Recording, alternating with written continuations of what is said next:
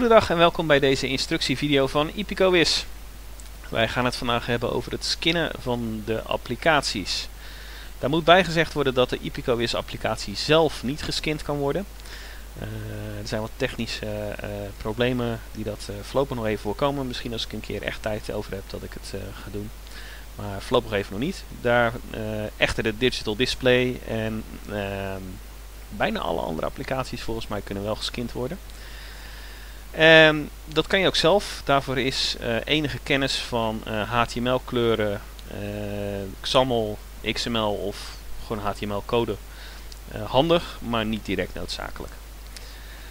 we gaan hier in deze demonstratie even een skin aanpassen van de digital display. En ik ga even stap voor stap laten zien hoe dat gedaan wordt. En nou, laten we maar even beginnen. Uh, wat ik hier voor mij heb is de uh, map waar de skins uh, standaard in staan van in dit geval de digital display. En dat is C Program Files x86 SplitTime Sports Electronics. en omdat het hier over de IPCOWIS applicatie gaat, IPCOWIS 1.4 slash skin. sommige applicaties is het slash resources, moet je maar even kijken, maar je herkent het meteen als er XAML bestanden in staan. Nou, in dit geval staan er drie bestanden in. Um, dat betekent dat ik al één skin gemaakt heb. Uh, dat is in dit geval Green is Awesome. Die heb ik voor een, uh, een loop gemaakt die uh, nog gaat komen.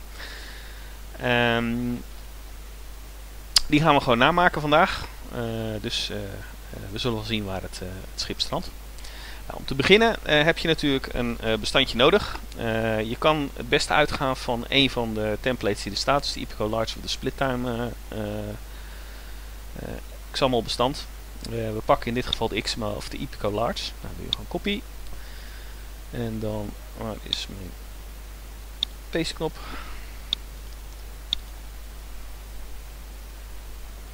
Oh, dat is niet mijn paste knop. Oh.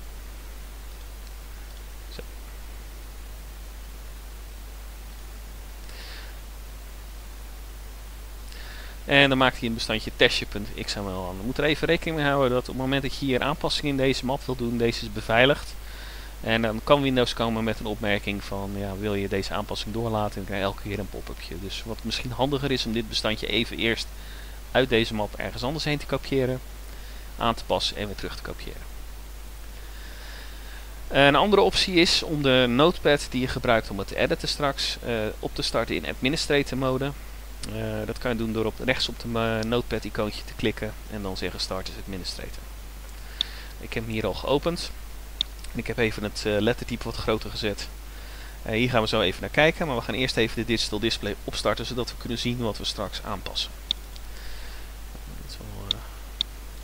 Zoals je kan zien is ESAK degene waar ik straks de skin voor ga maken. Uh, het is misschien handig om meteen even wat deelnemers erin te dumpen, zodat we werkelijk zien uh, wat we aan het doen zijn. Uh, hij is geconnect. Zo, even 20 man erin gegooid. Um, nou, dit is gewoon de default skin. En deze gaan we zo aanpassen. Moet ik even één dingetje bij zeggen. Als je straks een uh, andere skin kiest, zoals ik uh, bijvoorbeeld nu bijvoorbeeld Green is Awesome kies, dan laat hij deze beetje druk. Houd er rekening mee dat deze hoogte niet automatisch aangepast wordt. De lettertypes en alles voor de rest wel, de hoogte niet. Dat is een technisch probleempje. Dat betekent dus als je met de hoogte aan het rommelen bent, dan moet je gewoon even een nieuwe deelnemer finishen, zodat je kan zien wat, wat er gebeurt. Dan voorlopig even terug naar de uh, default skin. Uh, want je moet skins niet aanpassen terwijl die geladen zijn. Uh, dat kan problemen geven en dan kan zelfs de digital display crashen omdat hij uh, niet bij zijn skinbestand kan komen. dus we zetten hem even voorlopig terug. En dan zie je ook meteen dat inderdaad de hoogte niet standaard aangepast wordt. Nou, laten we eens even gaan kijken naar de skinbestandje. Nou, dit is testje.xaml. Ik heb de lettertypes even wat groter gemaakt. En we gaan er gewoon even stap voor stap doorheen lopen. Dit is de openingsheader. Daar moet je gewoon van afblijven. Uh, als je deze aanpast, dan crasht waarschijnlijk de applicatie. Dus niet doen. items waar een punthaak, een uitroepteken en twee streepjes voor staan, zijn commentaar. Dus tussen die streepjes kan je aanpassen wat je wil. Je kan ze weghalen, maakt voor de rest niet uit. Dit is de eerste echte waarde. Uh, een dubbel geeft aan dat, hij, uh, dat het een getal is. En de key geeft aan, dat is zeg maar de naam van de waarde. Dus die moet je ook niet aanpassen.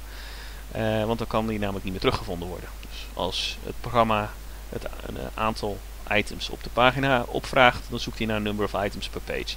Verander je naam, kan hij niet meer vinden en dan doet hij het gewoon niet.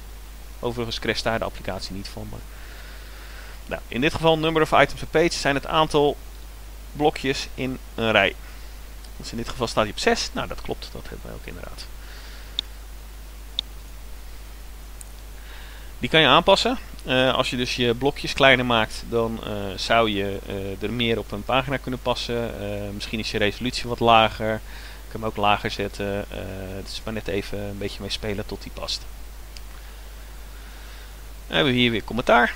En dan gaan we hier naar nog een aantal dubbels. Nou, daar komen we straks nog wel even op op het moment dat we ze gaan aanpassen. Wat die allemaal betekenen. Hier heb je een font weight. Dat geeft gewoon aan of een font zijn lettertype vet gedrukt is, normaal of italic. Uh, daar komen we ook straks nog wel heen, dus ook niet al te veel aanpassen, dat is niet heel spannend. En dan komen we nu bij de wat spannendere. Uh, solid Color Brush. Alle letters en lijntjes die worden getekend door, net als in het echt, een kwast. Dus in dit geval een virtuele kwast. En een Solid Color Brush is een kwast met één kleur. hieronder zie je bijvoorbeeld ook nog een Linear Gradient Brush. dat is een kleur die overloopt. Nou, die zullen we straks ook nog wel even tegenkomen. Zal ik hem even aanpassen en dan krijg je te zien hoe dat precies werkt. Uh, daar zal je ook niet al te veel mee doen voor de rest. Een andere brush die er bestaat is een image brush. Die staat in de split time. Ik zal hem als achtergrond, die zal ik aan het eind nog even laten zien. Daarmee kan je eventueel tekenen, een plaatje tekenen, bijvoorbeeld voor de achtergrond. Je zou zelfs lettertypes met een plaatje kunnen tekenen. Uh, ik raad het je niet heel erg aan, want het gaat er heel raar uitzien over het algemeen. Maar je zou bijvoorbeeld uh, de letters uh, kunnen tekenen met de Nederlandse vlag, zodat elke letter rood boven, wit in het midden en een blauw aan de onderkant hebben. Als je vindt een beetje Amerikaans-achtig iets, maar goed, dat, dat zou kunnen. Hebben we voor de rest nog wat? Nou, corner radius geeft de ronding aan, hoe groter het getal, dus deze corner radius, hoe groter het getal, hoe ronder die wordt. Als je hem op 0 zet, heb je vierkante thickness is de dikte van de lijn. En dan hebben we alle dingen gehad. Ja. Ik laat voorlopig het number of items per page even staan. 6 is prima. Zeker als je nu kijkt, dan klopt dat wel aardig. De result van 120 vind ik eigenlijk op dit moment ook goed. Dat is deze hoogte, dus dat zou geen punt moeten zijn. Uh, de font size 40 is een beetje klein. Ik wil deze wat groter hebben, dus daar gaan we 50 van maken. Um, nou, de body text size vind ik op zich wel leuk. En de checkpoint font size, dat is deze, die gaan we iets kleiner maken. Nou, de result, de, de font weights vind ik eigenlijk prima. Uh, ik vind het wel plezierig dat uh, sommige dingen wat duidelijker zijn dan andere. Dus die laten we gewoon lekker zitten. En uh, dan komen we bij de brushes, de kleurtjes. Dat is eigenlijk hetgene wat het meest opgemerkt gaat worden. Nou, hier heb je de result header text place color. Dat is een mond vol, maar wat we eigenlijk bedoelen is dit. De plaats in de, in de wedstrijd, dus de, je resultaat. Die staat nu wit en ik denk dat die wit wel prima is.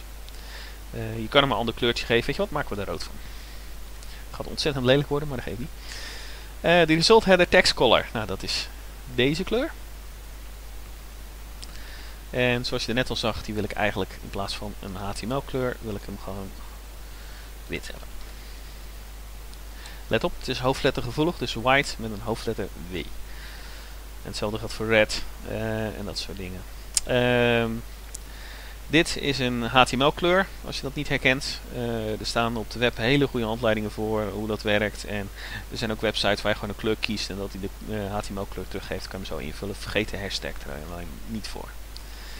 Uh, de body text color. dat is deze.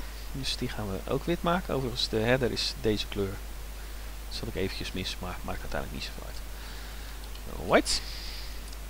Een lab text color mag voor mij betreft ook gewoon white zijn. Dan hebben we de checkpoint font color, dat is deze. Nou, die is al wit, dus die ik ook goed. En nu komen we bij een linear gradient brush, de result background. Dat is deze achtergrond. Die gaat van donkergrijs naar lichtgrijs. Hij is precies hetzelfde als de achtergrond, maar omdat het een kleiner stukje is, uh, krijg je een mooie, mooi verschil. In dit geval wil ik hem eigenlijk gewoon uh, groen hebben. Nou, kan ik hem in principe uh, groen krijgen door hier gewoon green in te vullen en bij deze ook. Dan loopt hij, niet, loopt hij van groen over naar groen en dan heb je dus gewoon een hele groene. Uh, maar in principe kan je die proesjes gewoon zijn uitwisselbaar. Dus ik kopieer even degene hierboven. Nou heb ik al eigenlijk een probleem omdat je twee keer dezelfde item erin hebt. Dat kan niet. Maar ik ga deze item name even kopiëren. Hierin zetten. En dan halen we deze weg. Want anders hebben we alsnog een dubbele. En dan weet je niet welke die moet kiezen. Nu hebben we dus de result background is een solid color brush geworden. Nou, die wil ik gewoon groen hebben. Uh, setting header text color, dat zijn deze. Um, nou, ja, white is prima. Anders oranje gaat zo raar uitzien. White. White. Dan gaan we nog bij de main de background. Nou, de background is natuurlijk deze. Um, die wil ik laten overlopen. En ik wil hem eigenlijk van donkergroen naar lichtgroen laten overlopen. Dus dan zou ik zeggen dark green naar light green. Wit zou ook kunnen. Uh, maar dan wordt hij erg licht aan de onderkant, denk ik. Nou, main border thickness, nou weet je wat, daar maken we er twee van. En de corner radius laten we hetzelfde. En de border color, dat is zeg maar de kleur van de lijn. Die maken we ook white. Nou, file save. Eens kijken wat er geworden is. Testje. Ik ben er nog niet helemaal tevreden mee. Het is wat te groen. Dus moeten we even kijken wat we daaraan gaan doen. Maar voorlopig is dit als opzetje heel leuk. We gaan er even snel doorheen. Uh, zodat je kan zien wat er veranderd is. Nou, number of items per page is hetzelfde gebleven. Result height, uh, die was al 120. De tekst past nu een stuk beter in, de, in het blokje dan hiervoor. Dus we keken naar de default skin. Dan hing het er een beetje in het midden en verloren bij. Even mijn tekst terugkrijgen. Mm, ja. En de andere teksten zijn ook, zie je, deze is ietsje groter. Uh, het is allemaal wat netter geworden. Nou, font weights hebben we niks aan veranderd. En uh, de result header place color is nu rood geworden. Uh, het is niet zo erg als dat ik verwacht had. Misschien een ander kleurtje aangegeven, weet ik nog niet. Uh, de meeste tekst is allemaal wit geworden. Nou, dat klopt ook. zoals je kan zien is de achtergrond is groen. Zoals we hier gezet hebben. En loopt niet meer over. Dus deze. Result background. En van de achtergrond van, het hele, uh, van de hele applicatie loopt van donkergroen naar lichtgroen over. Dat vind ik op zich wel leuk. Zou je misschien een andere kleur kunnen pakken om het uh, een beetje te, de, de, de blokjes meer te laten, eruit te laten komen. Zou bijvoorbeeld hier, oh, moet ik hem wel even terugzetten.